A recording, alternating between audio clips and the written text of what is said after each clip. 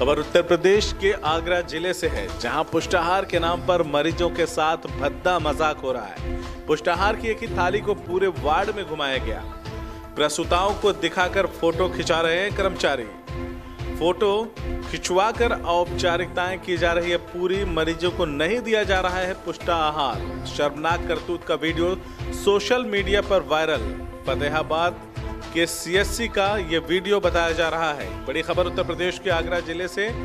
आगरा के फतेहाबाद से, जहाँ पर पुष्टाहार के नाम पर मरीजों के साथ भद्दा मज़ाक किया जा रहा है। पुष्टाहार की एक ही ताली को पूरे वार्ड में घुमाया जा रहा है। सीआईबी इंडिया न्यूज़ की सभी खबरों को देखने के लिए लाल रंग की बटन को दबाकर चैनल को सब्सक्राइब ज़रूर करें। घंटी ज़रूर दबाएँ ताकि हमारी सभी खबरों के नोटिफिकेशन आप तक पहुँचते रहें।